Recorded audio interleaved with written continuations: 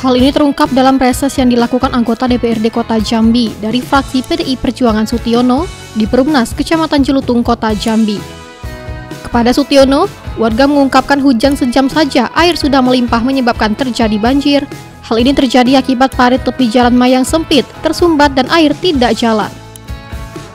Menjawab aspirasi masyarakat yang disampaikan, Sutiono mengatakan akan segera menindaklanjuti dan mengkoordinasikan ke Dinas PUPR Kota Jambi.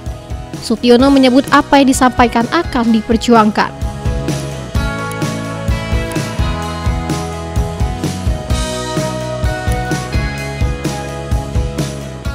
Kita alhamdulillah hari ini kita reses di RT 24 Handil Jaya yang luar biasa antusias tadi aspirasi-aspirasi rakyat yang nampaknya banyak. Jadi kita akan laporkan ini ke paripurna Dewan yang terhormat.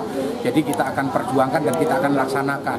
Yang mana tadi banyak yang krusial masalah pendopo, masalah banjir yang ada terjadi di Kota Jambi dan masalah parit yang perlu kita akan realisasikan segera yang sifatnya untuk uh, rakyat dan taman penting tadi tempat bermain anak-anak kita akan teruskan kepada DLH untuk dapat ditindaklanjutin taman yang ada di uh, komplek ini.